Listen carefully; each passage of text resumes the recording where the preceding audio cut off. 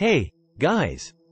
Welcome back to CGK, Curiosities about General Knowledge. Today we're going to talk about one of the most iconic prehistoric predators, the saber-toothed tiger. Also known as the Smilodon, this majestic feline lived during the Pleistocene epoch, roughly 2.5 million to 10,000 years ago. Here are five fascinating facts about the saber-toothed tiger that you might not know. Curiosity 1 The saber-toothed tiger had impressive teeth. The saber-toothed tiger, or Smilodon, had some of the most impressive teeth in the animal kingdom. Its canines were its most distinctive feature, and they could reach up to 11 inches in length. These long, curved teeth were serrated, which made them even more effective for tearing flesh.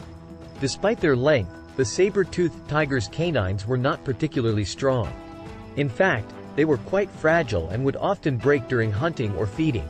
However, the saber-toothed tiger had a unique adaptation that allowed it to continue using its teeth even when they were damaged. Its canines were deeply rooted in its skull, and they could move independently from the rest of the jaw. This allowed the saber-toothed tiger to bite and hold onto its prey even if one or both of its canines were broken. It's worth noting that the saber-toothed tiger's impressive teeth were not just for show. They played a critical role in the predator's hunting strategy. The saber-toothed tiger would use its canines to deliver a fatal bite to the neck of its prey, rather than relying on suffocation like modern big cats.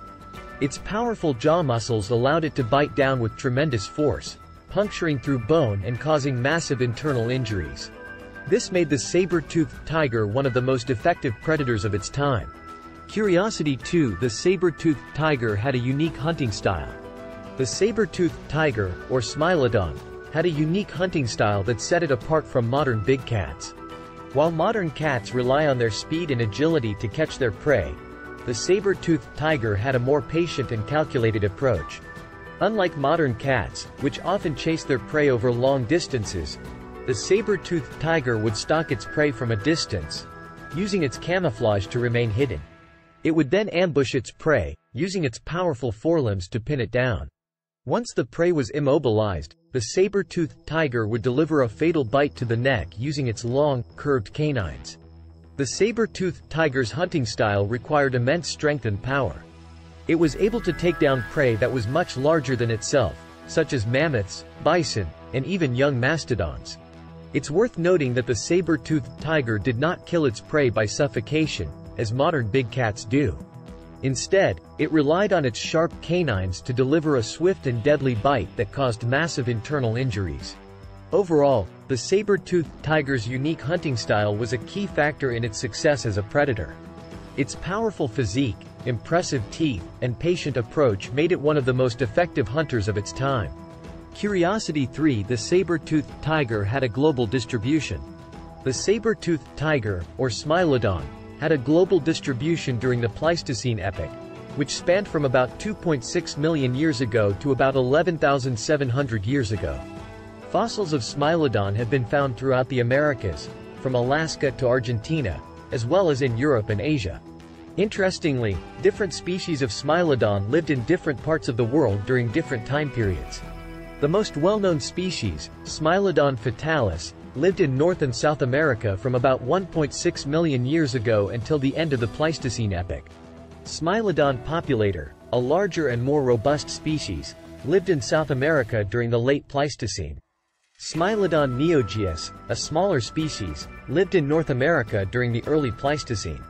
The global distribution of Smilodon is thought to have been influenced by the movement of large herbivores, such as mammoths and bison, which were the main prey of the saber-toothed tiger.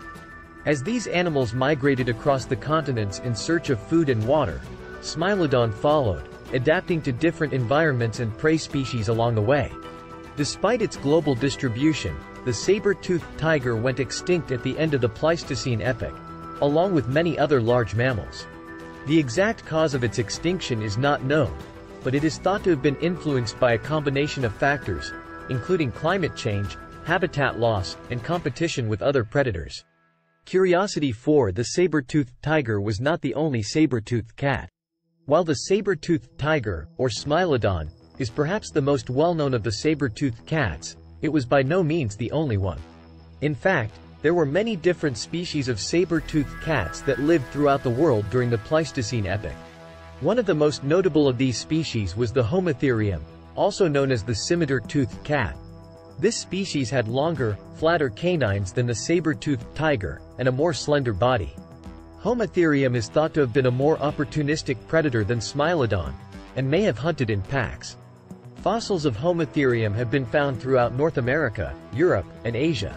Another well-known species of saber-toothed cat was the Machairodus, which had even longer canines than the saber-toothed tiger. Machairodus lived during the Miocene and Pliocene epochs, before the rise of Smilodon. Fossils of Machairodus have been found in Europe, Asia, and Africa. Other species of saber-toothed cats include the Megantereon, which had shorter canines and a more robust build than Smilodon, and the Dinofelis, which lived in Africa and Asia and had a more generalized dentition. Each of these species had its own unique adaptations and hunting strategies, which allowed them to thrive in different environments and prey upon different species. Overall, the saber-toothed tiger was just one of many species of saber-toothed cats that roamed the earth during the Pleistocene epoch, each with its own distinctive characteristics and adaptations. Curiosity 5 The saber-toothed tiger was not a tiger. When people hear the term, saber-toothed tiger, they often assume that this prehistoric predator was a type of tiger. However, this is actually a misnomer. The saber-toothed tiger, also known as Smilodon, was not a tiger at all. It belonged to the Machairodontinae subfamily, which is a group of extinct felines characterized by their long, razor-sharp canine teeth.